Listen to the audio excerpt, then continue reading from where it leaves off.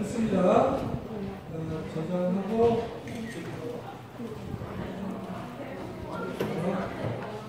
네, 여기 잘 보세요. 그러니까 엄청 빠르게 돼 있어서 그렇죠? rather than camping. How about you? Why don't we play computer games? How about seeing a movie tonight? What kind of movies do you like the most? You should try this puzzle. It's really challenging. Thank you. What shall we do this weekend? Why don't Let's we go hiking. baseball? I love rock and roll. How about you? I don't like it. I want to see you western. How about you? I prefer to go hiking rather than camping. How about you? Why don't we play computer games? How about seeing a movie tonight? What kind of movies do you like the most? You should try.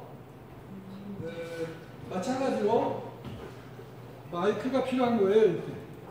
아까 그 마이크. 그래서 마이크를 그 아이에게 주는 거죠. 이렇게 주고 여기서 랜덤으로 하는 거예요. 그냥 랜덤으로 찍어. 랜덤으로. 그러니까 교사는 말을 안 해. 얘가 다 해. 그죠? 그리고 방송으로 나가죠. 그 아이는 마이크로 답하죠. 또 한 시간 내내 노출돼. 그 다섯 개, 다섯 개 랜덤으로 해서 다섯 개 다 맞추, 다 맞추면 주지 않고 저는 처음 하는 애들이 불리하니까 프리미엄을 줘요. 처음에 1바부터 5바까지는 세 개만 맞아도 만점.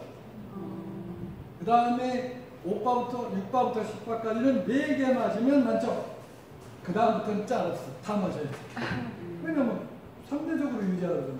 마이크를 계속 소리를 듣죠. 답을 들으니까.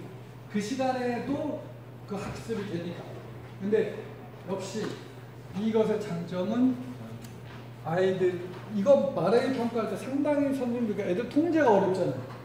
그렇죠? 근데 이렇게 하면 애들이 과연 제가 만점을 맞을까? 그 어느 선생님은 애를 나오라고 그래가지고 복도에 앉혀놓고 이 랜덤으로 뽑기 뽑아가지고 질문하는 거야. 그럼 한 시간 내내 애들 그냥 놀자고 그걸 못 봐. 음, 그 순간도 다 학습이 이루어지도록 어,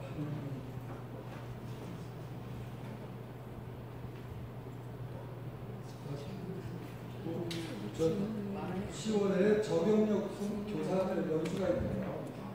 토요일에 와서 연수를 해줄 수 있냐고 다른 장학사는